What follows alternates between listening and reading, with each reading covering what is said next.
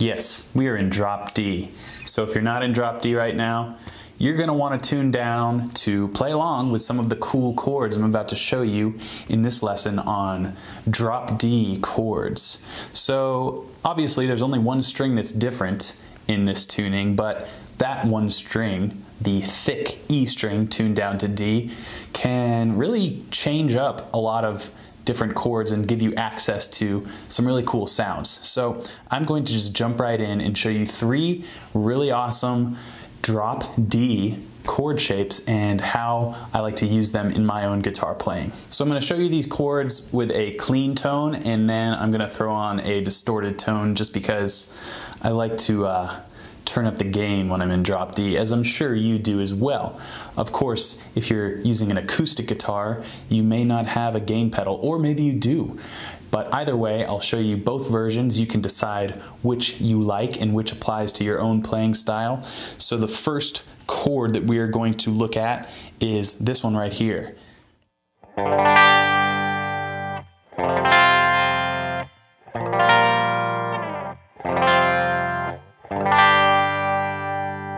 And you'll notice with these chord shapes, they are movable. So I'm going to be moving them around. I'll generally be on the fifth fret just to demonstrate each chord. So we have our middle ring and pinky on the fifth fret of the E, A, and D strings. We mute the G string with our pinky, and then we have our first finger barring the third fret of the B and E strings, and that gives us this chord. And like I said, we can move it around now that we have this shape.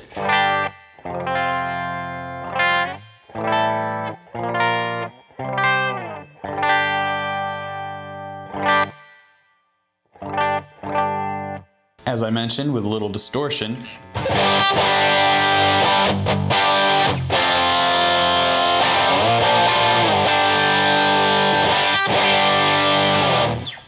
So really an awesome sustained, rich, organic sound that you can get with this chord.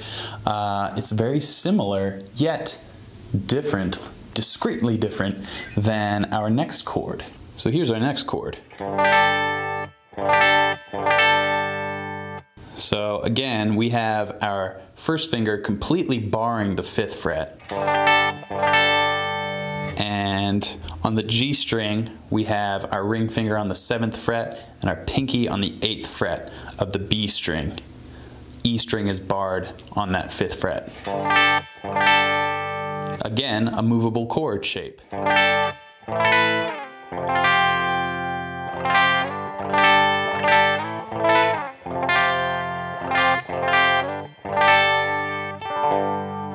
Let's see what this one sounds like with a little distortion.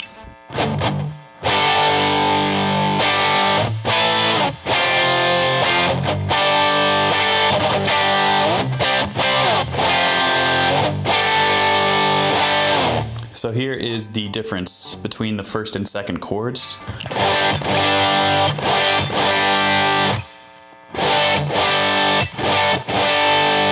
So you really want to emphasize these bottom three strings to make sure those are articulated in the chord so you can really hear that difference. Subtle, but cool.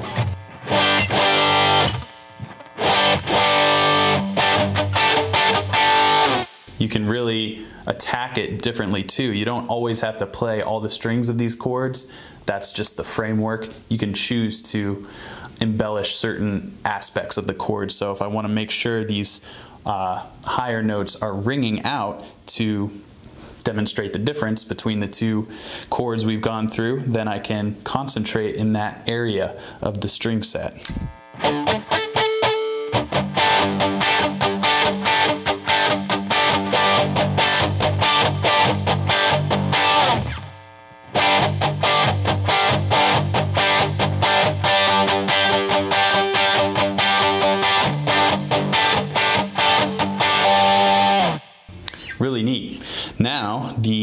Final chord that I'm going to show you today is much more simple as far as the construction, and it is a very useful chord as well. let's take a look at it. So on our trusty fifth fret here, we have our barred fifth fret of the E and A strings. And then we're gonna put our ring finger on the seventh fret of the D string. And that's it. It's just like a big power chord. And you guessed it, we can move this shape anywhere we want to.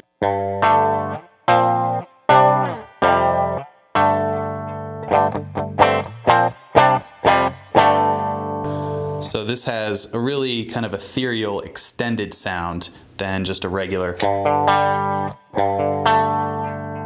As I've done with the previous chords, let's see what this sounds like with a little bit of dirtiness.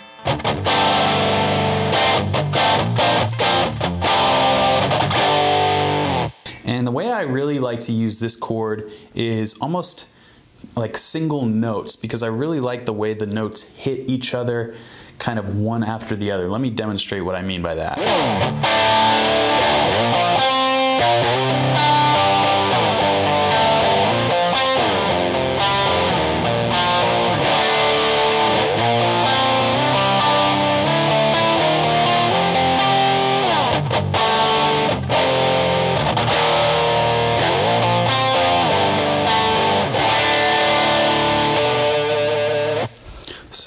It is a really neat way to kind of get that raunchy, really full of attitude feeling uh, that Drop D is able to deliver.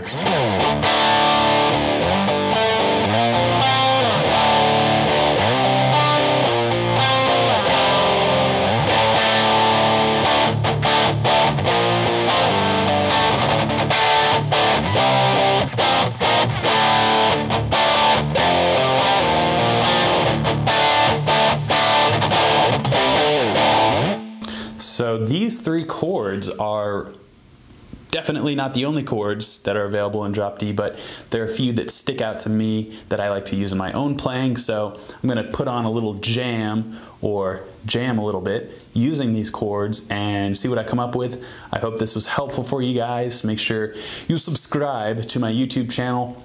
I've also started teaching private Skype lessons.